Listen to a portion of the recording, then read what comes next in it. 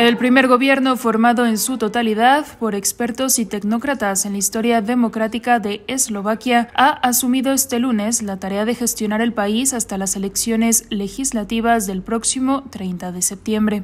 La presidenta de Eslovaquia, Susana Kaputova, nombró y presentó a los 16 miembros del nuevo Ejecutivo, encabezado por el economista y hasta ahora vicegobernador del Banco Nacional Eslovaco, Ludo Vitodor.